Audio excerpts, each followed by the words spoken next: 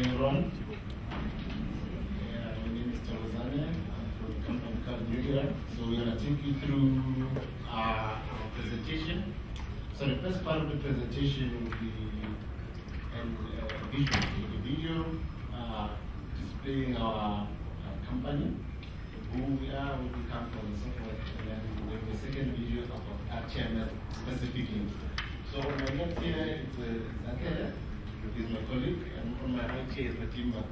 So we will be uh, jointly uh, handling the presentation. So the areas that we blend by myself, you, and him. So we're good to go. Let's go.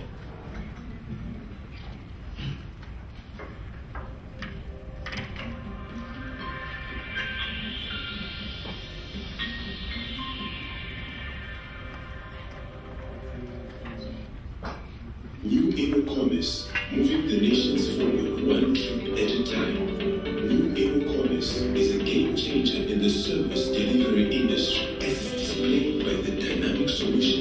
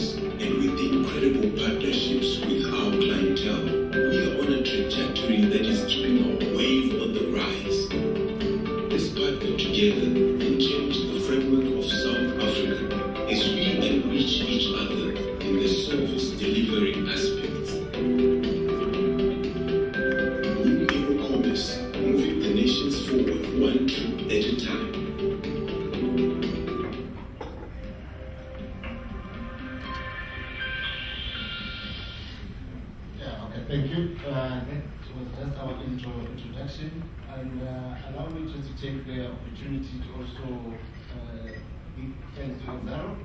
The other part you put machines there is the lower one line where we currently working. We've been working with Exxaro for the past four five years, I'm not mistaken. So thank you for the support, and thank you to say that you guys take our service very seriously. So yeah, basically the slide here just displays uh, the infrastructure or the capacity that we have at the moment uh, on transportation and material handling. So yeah, we do transport mainly using side tippers, uh, oh, refrigerator, sorry, and refrigerated trucks. So yeah, next slide. Yeah, so this is also a display of our refrigerated trucks that we use. So we run them nationwide, we don't do cross border, but we move from uh, Job to Kimberley, Devon, everywhere. So we move on fresh foods, frozen stuff, pharmaceuticals, yeah, everything that is actually carried using uh, uh, the truck. Uh, the slide here just uh, explains our brief background, uh, where does the company come from, what have we achieved uh, so far. So on the top it says that we employ more than six logistics professionals, which includes myself. I've got a degree in logistics. Zexi is an engineer by profession, but is an IT guy here. And then on this left-hand side here, it tells you what we do in a nutshell. So basically offer integrated logistics solution, meaning that if you ask us to do the material handling plus the haulage, that's what we mean by integrated um, material handling. On other clients, we have forklifts plus the trucks, the retail trucks. So we do also the loading of the vehicles by ourselves. And then on the far right hand side there, it says that uh, we're certified by BSI on uh, OHSAS 18001, ISO 9001, and ISO 14001, and RTMS. So as a result of us having embarked on RTMS, it also enabled us to achieve um, which was 18,000, ISO uh, 14,000, and ISO 9000 because the standards are more or less the same, except here and there where you just need to do specific adjustment. And at the bottom there you can see that we just uh, mentioned uh, a couple of our clients, which include amongst Exxaro, Universal Coal, African uh, Exploration, Vilmas Codes, Paco 7, and so forth. Thank you.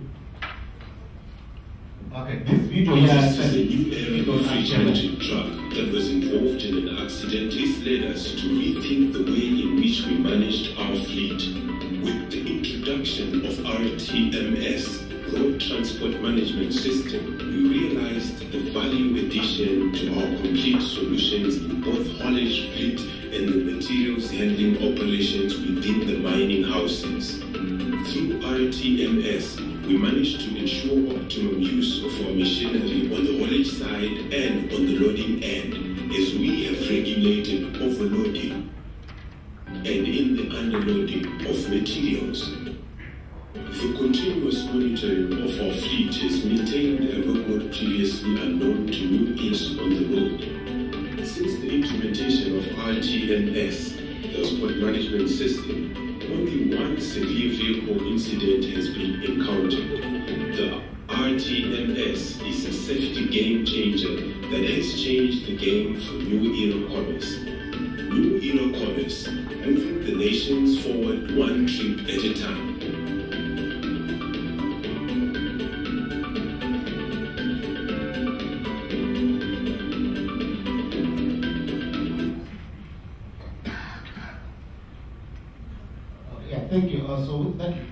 What we were trying to uh, communicate here was the point that we had one truck, uh, then two months back, a reefer truck, a brand new truck, it was less than six months, got involved in a victim accident.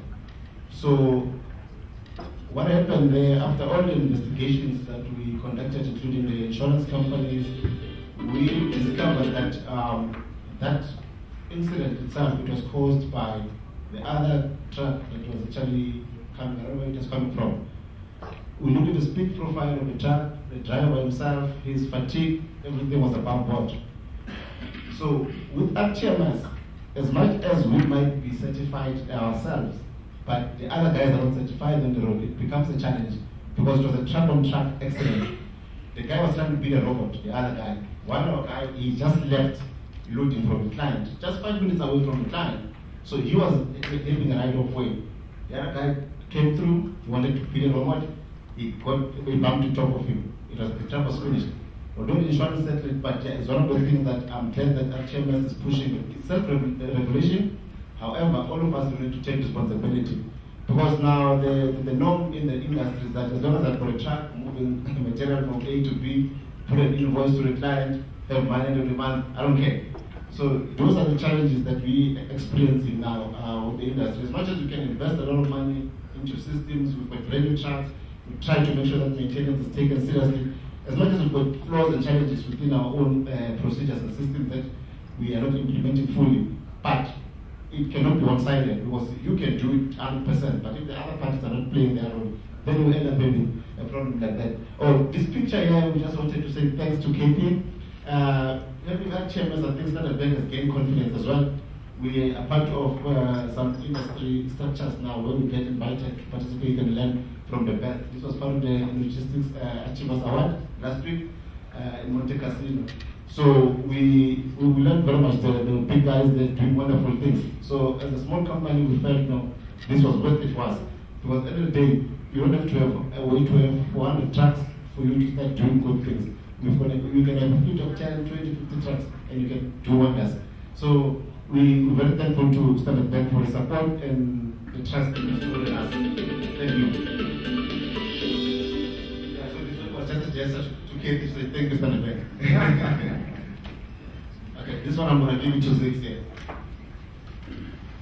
Uh, okay, so this uh, basically is a profile uh, that shows our performance uh, on uh, speeding uh, and also on managing uh, fatigue.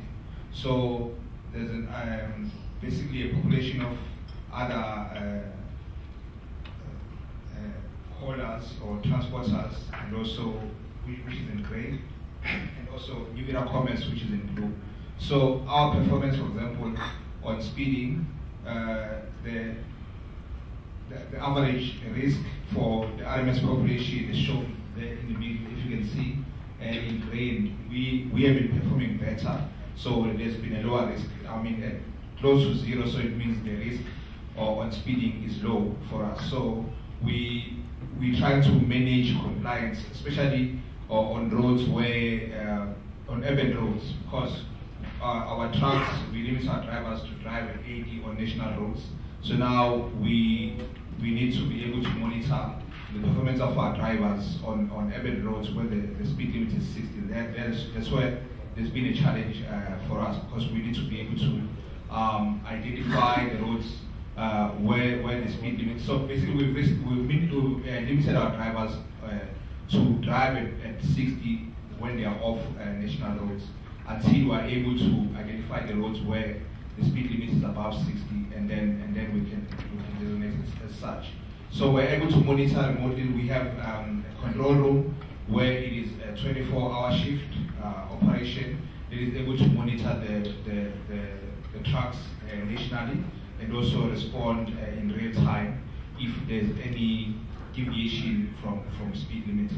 And also, um, with regard to uh, fatigue, managing fatigue, for example, we have uh, shifts where drivers work, for example, uh, um, and, and take breaks or take uh, leave, for example, four days on and, and four days off, and others seven days off. Um, yeah.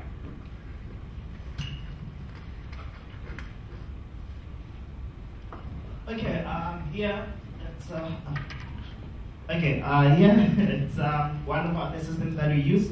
Uh, it's called DataTim.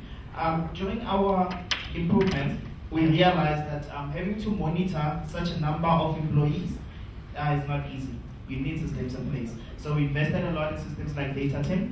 Like this one here, it shows you that this driver's driver's uh, license is gonna expire. So we get alerts every day, and we start preparing it on time. And then the next one just shows you the medical, the PDP, and then we also have the medicals and so forth. So here, with the help of RTMS, um, we've gone a route to say now we need our drivers to be competent.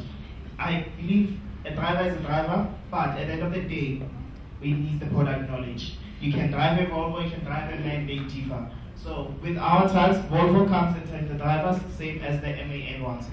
So this is just a certificate. And then we, we take our maintenance serious. This is our vehicle road test worthiness. Um, with this sheet, this is the one the mechanic uses when the vehicle comes to the workshop. So they check it according to that. They check the tires, they check the vehicle itself, they take the sign and the supervisor signs as well. Okay, this is our control room, how it looks. Well, there's still people, but the people are not there. Um, okay, so this is the live monitoring that we use. As you can see, there's different colors. Gray means that the vehicle has stopped. Green, they're moving. Red, well, there's no signal there. And there's a lot that we do from this live monitoring. If I can start mentioning, I'll take the whole day. Okay, this is the camera that we use inside our cab. We're not allowed to call our drivers on cell phones, but we use the camera to call them in and also to check what driver, how the driver behavior inside the cab. Okay, so this is how it looks inside and out. This is just a snapshot of the video. Or we can see what the driver is happening. We can see the neatness of the truck. We can see the outside activities. Okay. Um, yeah, because also we need to monitor uh, overloading and, and, and, underloading, especially with regards to overloading. When we underload, basically it's our loss uh, because um, you, instead of 34 ton, we transport 33 ton or 32 ton.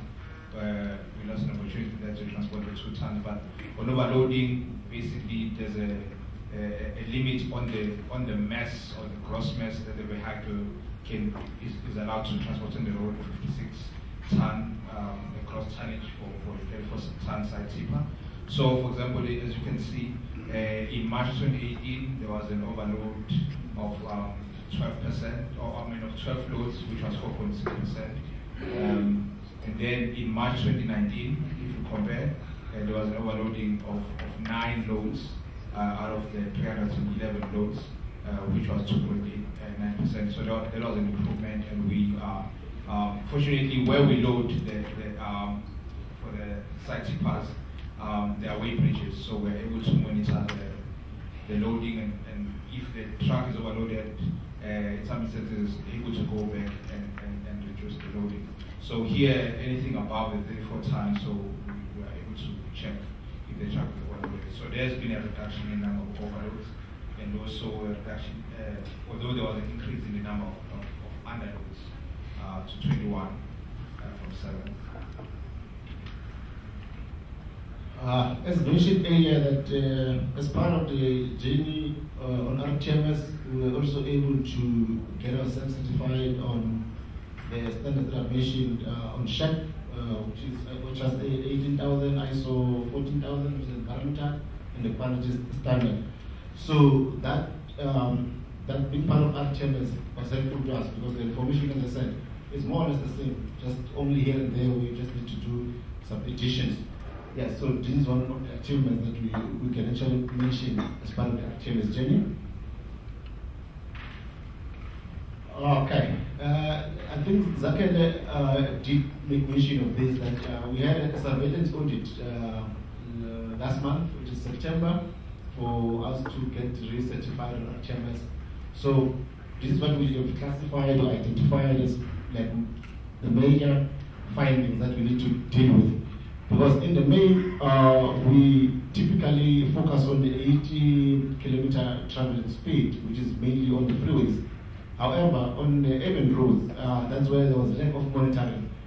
We find that the speed kilometer is 60 kilometers on the guys at 65, and then we only pick that one up when we start receiving the, the, the traffic fines on the standard bank system. So that's where we realized that this is a, a, huge area of concern because we never paid attention. Because previously we used to be heavily on the side tippers, now we've got the refrigerator trucks. They load, they go to a mall inside an urban area. So we have realized that we need to really work on that one of which I think now we're trying to put systems in place to control that. So yeah, and also another area, as I said, we do a lot of long distances. So we have been exceeding like sometimes the, the, scheduled uh, maintenance um, uh, time frames. So you find that trucks they go over by 2,000 because it's somewhere in uh, Western Cape and the truck is loaded. Uh, you can't take it to uh, maybe to the OEM to fix it there because you've got an express load. The client says go and load it and you can't stop. You've got something like ice cream or chocolate, it must be somewhere in Devon and that will pile up around 2,000 kilometers. So, but we try to find a way that can assist us to manage that so that we don't uh, do uh, overrun the maintenance schedule. And then lastly, I think Oliver was mentioning in his close, closing there that if you are certified, you need to submit your quarterly reports. I think we've just been up that we, we're looking there. So we need to be timers in terms of our, our submission. Because at times we make a mistake and think, no, I've done it, uh, and then we relax. So we just need to also improve. There is one weakness that we've identified. Uh, was RTMS, when we look at it, it's actually a journey. You don't do and say, I've arrived at the destination. It's just a, a continuous improvement process that you need to understand from that point of view. So yeah, that's that we, we are we're weakened there, so we improve going forward. Okay, this is the speeding, I'll give you too much in my ear. Okay, as mentioned previously, well, our speeding was was high. Um, like Thomasan said, we only concentrated on the highways, not on the national roads. But we picked up that even on the highways, the guys beat, and we never, we do monitor, but we never actually looked into what the speed was. So we picked up on the previous report that okay, the guys will speed up to a speed of 100, which is ridiculously high. So now with the new improvements in place, the guys have reduced as well. We've tested using the same vehicle again, and then the speed limit has dropped now. So we this is a continuous improvement, and we're gonna keep on doing time and time again. So with the service overruns, as it was mentioned before, these were the service overruns. Wherever you see red, that's service overrun that we had previously. But um, with the new plans in place, we're working forward to eliminate this and start on a clean sheet. Okay, there's one I'll give you. Uh, okay. As part of the RTMS surveillance audit, uh, we identified areas of weakness. And then uh, soon after that, we had to come up with corrective action and pre action. So we have gone uh, as far as saying uh, we to take RTMS seriously. And within UAR ourselves, because that function was shared across. So now we've decided that we, from next year, we want to have a full-time RTMS manager. Because our, our fleet is growing, we're just adding, I think, 12 trucks from next month. And we can't take that lightly. Uh, 12 trucks on society bus, you put two drivers per truck, we've got close to 20 additional employees. So as a result, we decided to get um, a very experienced driver trainer. He's on, on board. Uh, he has started already. We just want to take this uh, driver training very, very, very seriously because in transport we have seldom actually paid attention that the crux or the core of the business is the driver, is a truck driver. So now the approach is that we need to continue to train the drivers. We will rely on uh, six month defensive training or a yearly defensive training that is offered by through insurance. Yes, it was good, but we realized that the intensity of the course was not what we want. It's just a one day course, quick, quick certificate issued. So with this approach, the guy is internal, is full time. Obviously, when the external guy comes in, is to validate what the internal guy is doing, if you are doing it correctly. So the guy is full time now. You will be doing the drivers every. There's a schedule, so it's going to be a routine, so that we can start reducing the risk by overspeeding, making sure that the trucks are driven properly. Because it's not worth it to go buy a brand new truck for 2.8 million rand and then it's finished on the road. It's not worth it at all. So we try to correct that. So we hope that by this time next year, there should be massive improvement. We should be telling a different story to what we're telling now. to services, uh, so we can schedule now uh, service intervals. For example, the service is due, let's say, at 160,000 kilometers. We can send the truck at 2,000 kilometers before the 160, so it has 58,000 kilometers. So now that's how we're trying to limit or prevent um, like uh, going overdue on the, on the schedule for maintenance service with the OEM. And also, we are making an improvement in submitting the quarterly RTM reports currently Again, now this is just to show you, uh, it's just a simple example, just to show that um, we do have a, a driver trainer. So the driver trainer, what he does is, he doesn't just do in-class training, he also goes on route and does their route assessment with the driver as well, so, so, that, they, so that the drivers can continuously improve time and time again. Okay, that's the end of the presentation.